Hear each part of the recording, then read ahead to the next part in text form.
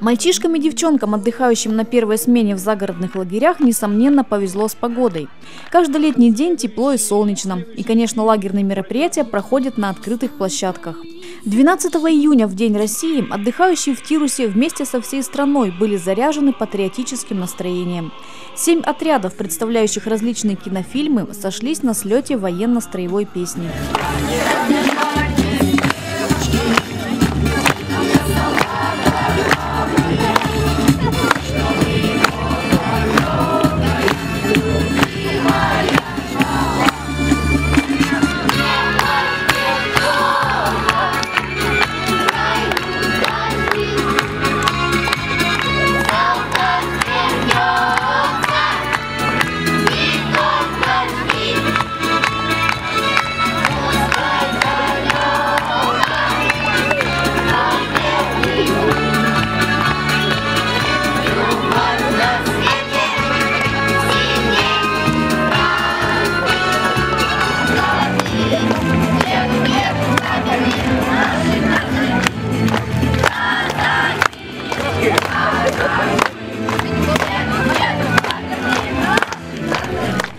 Строгие элементы марша, отрепетированные заранее, выполняли все без исключения.